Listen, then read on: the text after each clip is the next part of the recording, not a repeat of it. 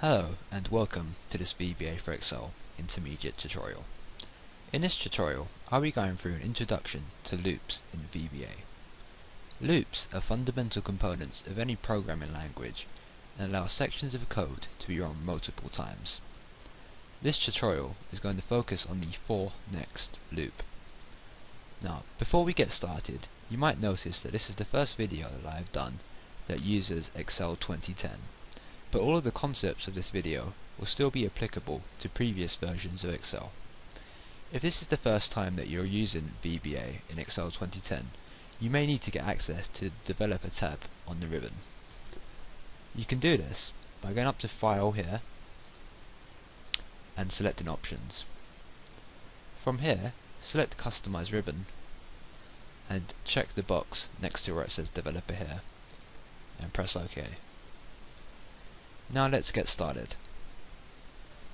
I've got a new Excel workbook open here, but to get started I'm going to need to open up the VBA editor. You can do this by pressing Alt and F11, or you can go to the Developer tab here and press the Visual Basic Editor button. Now I'm just going to insert a new module into this workbook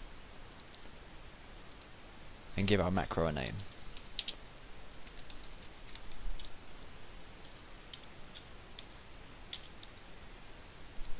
If you are unfamiliar with any of this, I recommend watching some of my earlier videos, in particular my introduction to the VBA editor.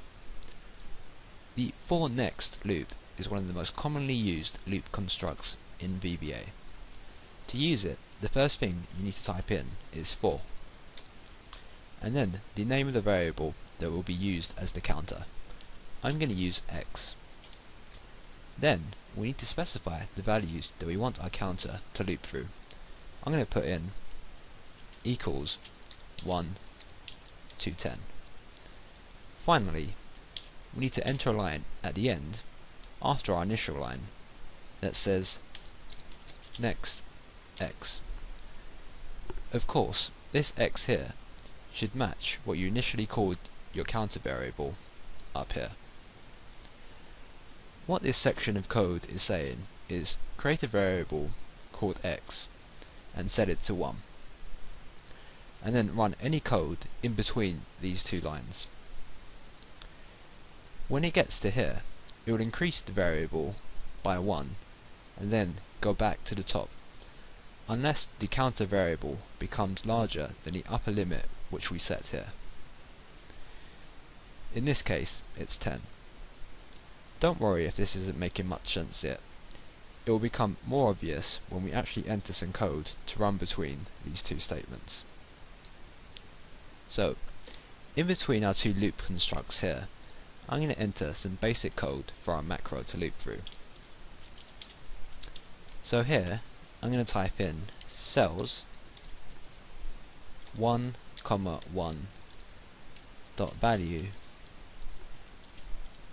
equals 1. Now, we could run the macro like this, and our loop would work correctly, in that this section of code here would run 10 times. But the loop itself would be a bit pointless, as this section of code here never changes. The useful thing about the counter variable is that we can use it within the code that is looped to make the code dynamic. This line of code here is saying go to the cell in row 1 column 1 and enter the value 1 into that cell. One thing that we could change about this line to make it more dynamic is to replace this 1 here with our counter variable. Another thing that we could do is also make the number that is entered into the cell dynamic, for example by changing this 1 to x times 10. Now let's run the macro to get a better look at what our code is doing. Before I do this, I'm just going to rearrange my windows so that we can get a better view of how the macro is working. Now, I could run the macro by pressing the play button here, which would execute the, all of the code in one go. But instead, I'm going to run one line at a time by pressing F8. As we press F8, the VBA editor highlights the line that will be run the next time that we press F8. So if I press F8 again, this line of code runs, and it highlights the code that initializes our loop. If I hover over our counter variable, you can see that it is currently empty. However, this will change the next time that we press F8, as x will be set to the first value that we set here. And as you can see, as I press F8, x has now become 1. As we're using x within this line of code here, this section of code changes every time our counter variable changes.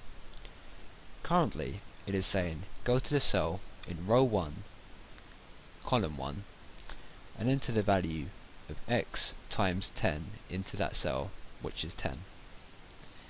And if I press F8, you can see that this is indeed what it does over here. When it gets to this next statement, it will increase the value of x by 1 and go back to the start of our loop. As you can see, x is now 2, so this line has changed and now enters the value 20 into row 2 column 1. If we keep pressing F8, you will see that this pattern continues until we get to 10.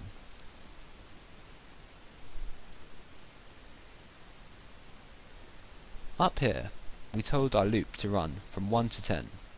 So once it gets to this limit, VBA knows not to loop through this section of code anymore, and instead continues to run the rest of our macro which in this case is the end sub statement, the end of our macro. There are some interesting things that we can do with loops. One of these is to combine them with if statements to check for certain conditions in our data. If you are unfamiliar with if statements in VBA, I recommend viewing my earlier Making Decisions in VBA video.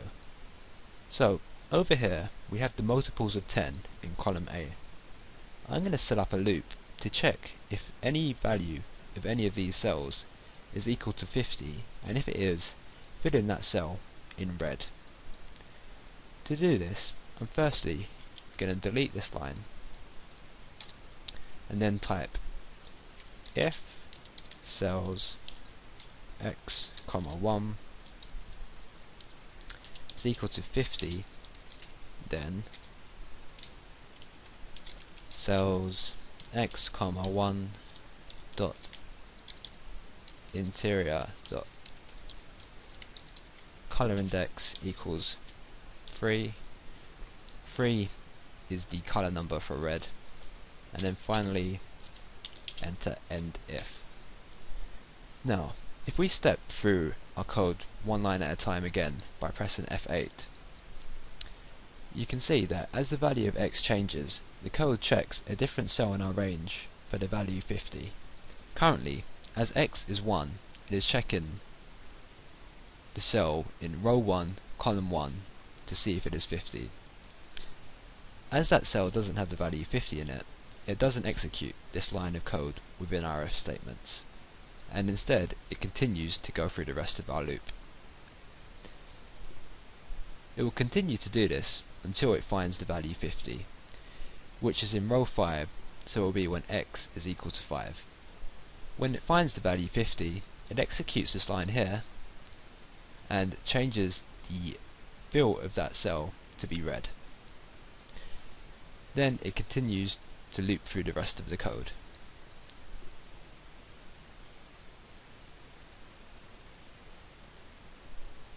You can see how this kind of code would be useful, but there's one key problem with our code the way that it currently is.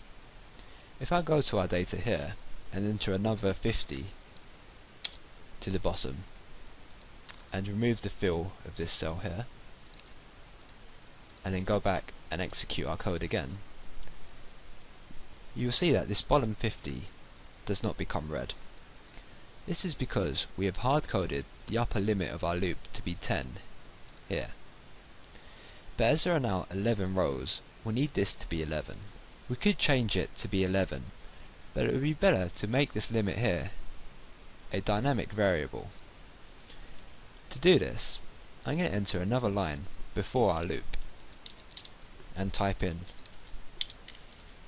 final row is equal to cells rows dot count 1 dot end excel up dot row. This is quite possibly one of the most useful lines of code to know if you're going to be writing macros for Excel. What this line is saying is go to define a row of column 1 which is here and then it does the equivalent of pressing control and up to find the final row of our data. It then sets the value of a variable called final row to be equal to the row number of this cell, which in our case is 11. So now, if I change this 10 to final row, and then remove the fill here, and run our macro again, you can see that it does indeed pick up this final 50. If I were to add some more values to the bottom of our data,